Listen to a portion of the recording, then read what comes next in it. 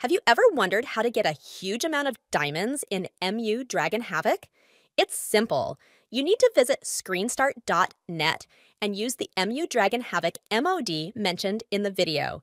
You can spend the diamonds purchased in this way on anything from the item shop and gain an incredible advantage in the game.